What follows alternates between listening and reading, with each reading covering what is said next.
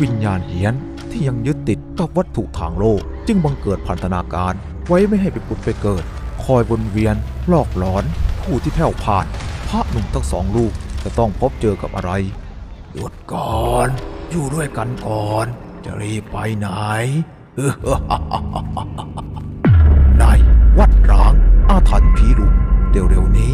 ทางช่องสแกรี่เรื่องเล่าแชนแนล